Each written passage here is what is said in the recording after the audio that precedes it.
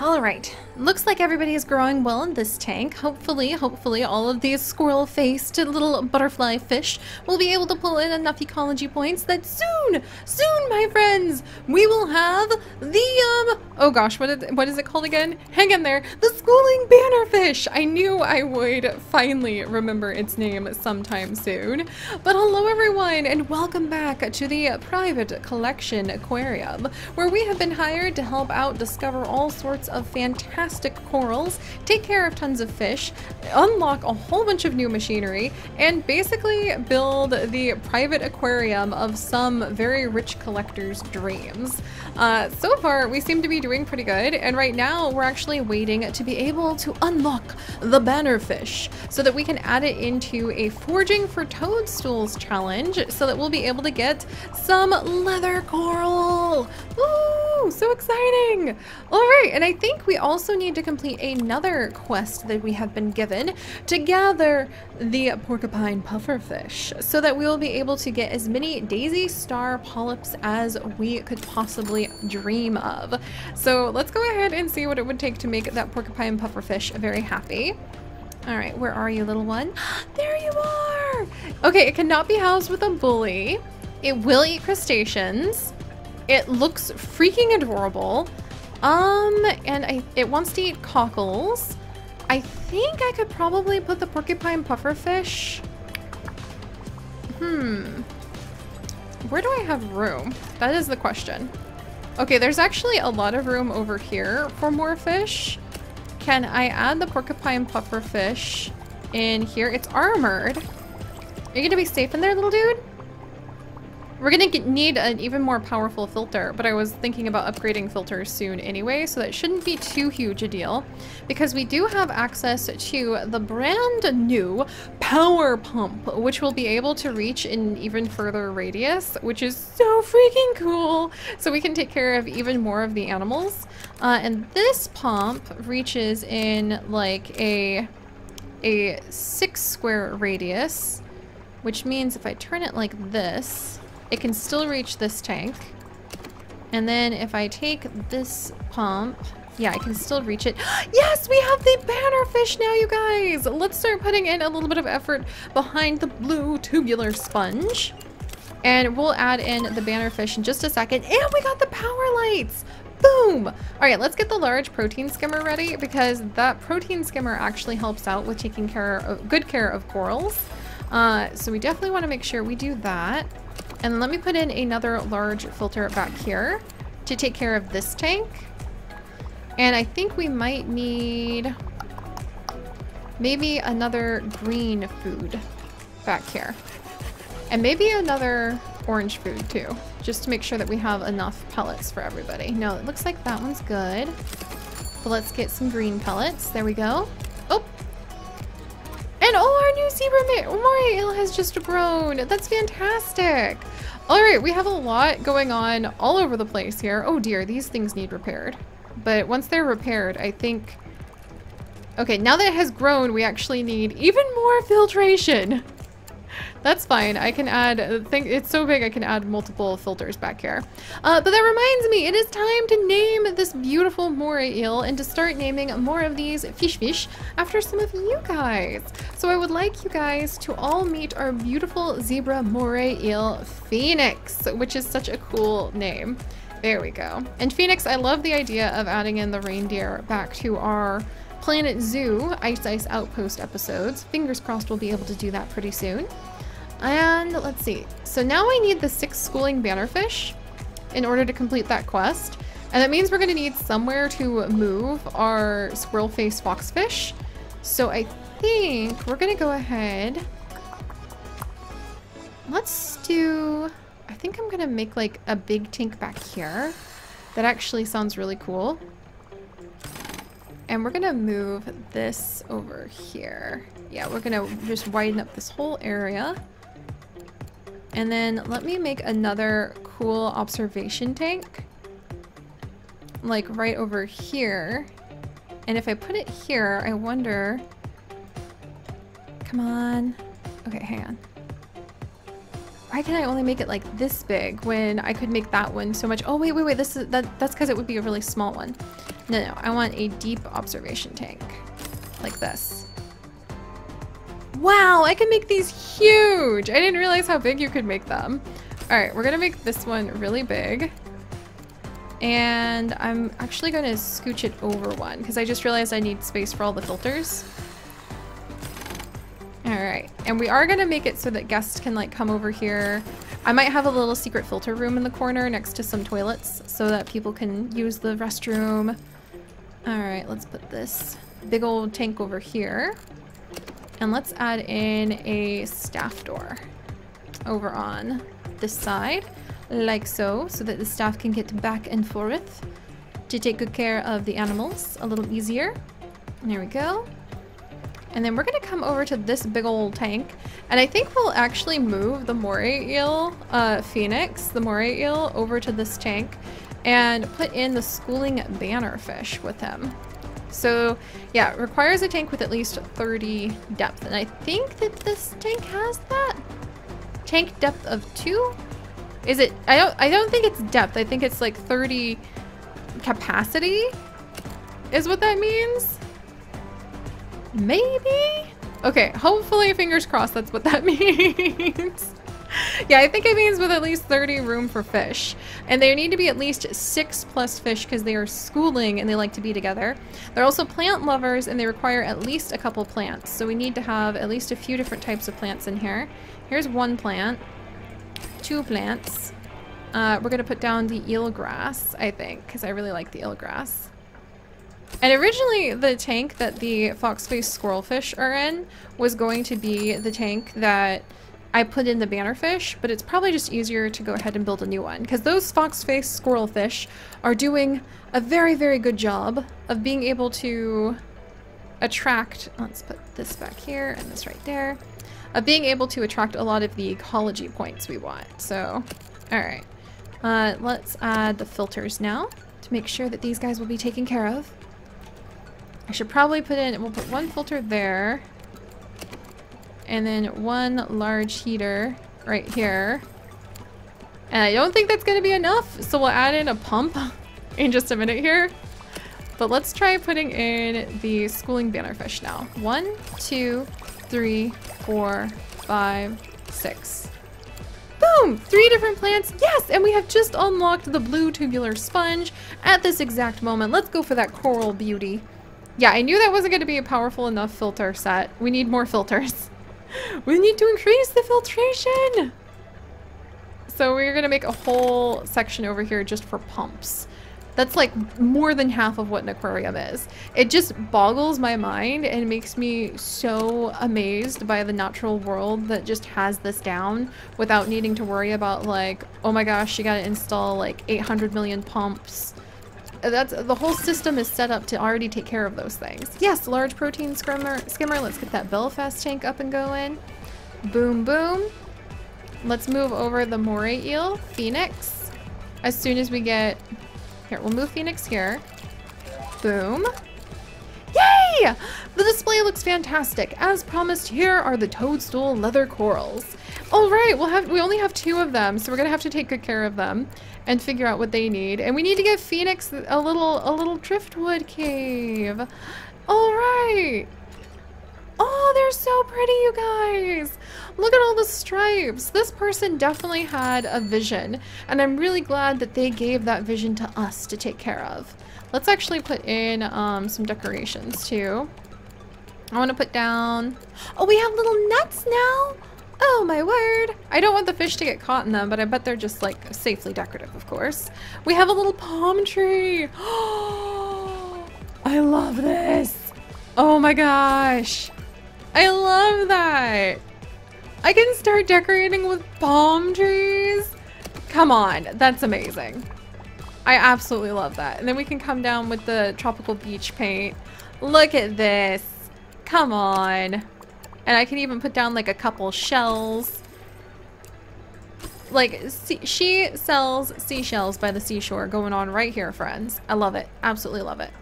Uh, all right. So that took care of that challenge. And now we need to uh, manage to get the blue tubular sponges going on and the daisy star polyps.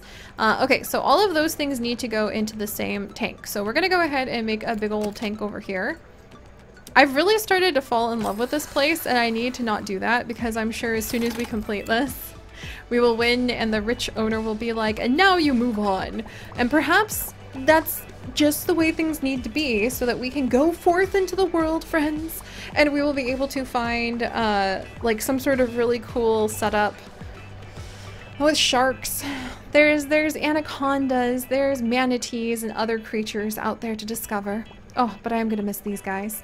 All right, we could wait for the Belfast tank, which I kind of want to do. Tank depth of three. It has a big capacity. Did somebody grow up?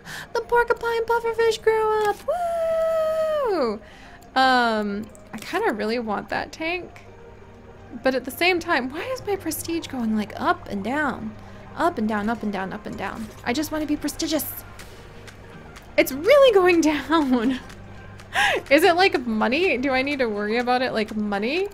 All right, what happens? Uh, I guess, do people grow tired of the same fish after a while? Here, let's fast forward for just a minute and see what happens. Oh, and maybe it's because they need to use the restroom. All right, let's build them some toilets. Might as well use our last few moments here. Yay, coral beauty! Let's get the fuzzy dwarf lionfish researched. I don't know if we carry the things we research into like the next zone.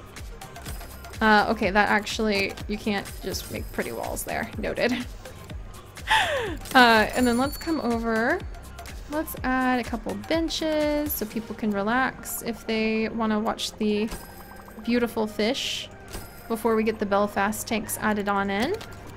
And then let's put down some, you know, just some nice drink machines so people can come over. They can, they can get something if they need something. I'm sure that eventually we'll be able to provide people with like a place to to eat, more places to rest. There we go. Yay! And we have unlocked the Belfast tank. There we are. Alright, so let's try getting this Belfast tank. It's a large tank. And we're probably to need a spot for like... Wow, this is a huge tank. Come on, let's use this rich guy's money while we still can. and we're to make a big old tank and see what, what happens. Alright, can I make this? Oh my word! You can make that tank huge! Okay, okay. Boom. $2,000! We can afford it. It's not our money. Alright. Okay, the we needed two stairs to be able to get to the bottom of that because this is so big. That's amazing. Alright. There we go. We can have 225 fish fish in here if we wanted. We're gonna try to make this into the most blissful, amazing coral zone ever. Let's block this off. And this is now gonna be like staff only section right over here. Dude, I said staff only, Olwen. Unless you want to start working here and scrubbing tanks, keep an eye on that algae, then scooch it. Uh, and let's put in, let's just go like whole hog. Yay! We got the lionfish. Not sure if we're gonna have a time to like to work with any of those guys, but it's just really nice to know that they're there. And we can make a fairly tidy setup back here to do like protein skimmer, large filter. Uh, let's do large heater. Like all of it is connected to this right over here. Hey, where's my heater? Large heater. You know, connected to this guy. Yeah. This one's connected. This one's connected. Pretty sure. Let me double check. Yep, yep, yep, yep, yep, yep. Oh, you can add multiple tanks? That's so cool with the big old pumps. Okay. So now that we have those, let's put on the lights because we need the power lights for these guys. Invalid placement location? Pardon? What do you mean invalid placement location? Are you telling me I can only put them on stuff like this? What? What? I made this vast, beautiful thing. Uh, all right. Here, can I select like multiple fish at once? Or do I have to just like... I think I can select multiple fish at once. Or I can just come in and be like, you, like you, here. Yes. Wait, wait, wait. Oh no, it's it's not hot enough. It's not hot enough because the tank is so big. I didn't think about that. Okay, there we go. Now it's warm enough. I totally didn't think about that, but you would have to worry about there being enough warmth for these guys. Here we go. I guess I can put in a whole bunch of different fish that we can admire at some point. But for now, I'm gonna have to put the corals in a different tank. All right, let's come on over here. We have the power lights. I'm gonna need to put in a new protein skimmer. Let's move this one that I put down over. We can make a gigantic mess out of this place because we're gonna be we're gonna be moving soon. All right, so we have the power light. We need the blue sponge. Where did my beautiful blue sponge go? All right, there it is. And we need four of them. So let's put one up front and center like this. Oh, they're so pretty. Oh my gosh, those are beautiful. And then we need two daisy star polyps. So let's add those corals in here now. Oh, I don't have those yet. Oh, that's right. Okay, we'll check that out in just a second. And two toadstool corals. They need zooplankton. They need these nice powerful lights.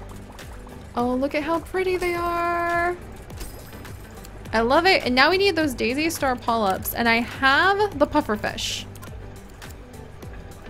Uh, an important, I have, if you supply me with one, how do I pick up correct object and click here? Oh, I, we need to come over and get our pufferfish to trade him.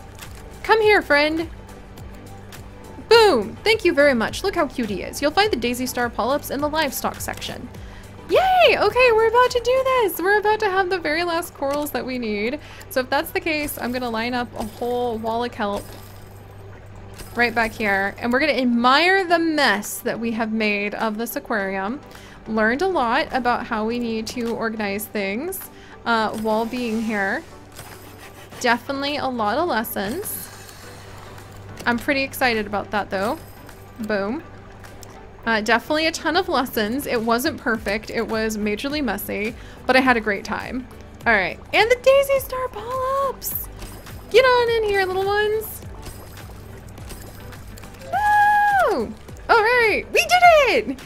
Managed to build a collector's dream aquarium, almost from scratch, mostly with the profits generated from the aquarium itself. Oh my gosh, we went through like $10,000 and I didn't even notice. You should be very proud. With such a high-profile client under your belt, you've attracted the attention of the historical aquarium of Valberg. You can continue to build here in Elmshorn if you want, but we're actually ready to take the chilly day in Valberg. So we did it, you guys!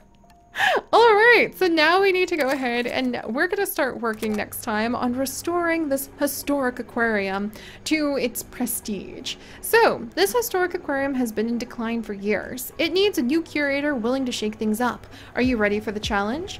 Part of the problem is that the weather is just so cold in Valberg that none of the heaters work at full capacity, just 66% to be exact. See if you can turn the cold temperatures to your advantage with this new piece of equipment, the chiller. Chillers are used to keep tanks at cold water temperatures, allowing us to keep cold water animals like this cuckoo rasui. It gets better here in Valberg. Uh, they're 50% uh, more effective. They are 50% more effective than normal. Oh, the chillers are! In other words, you can chill bigger tanks with less chillers. Your mission is to exploit cold water displays to get this aquarium back in the limelight. Dun dun dun!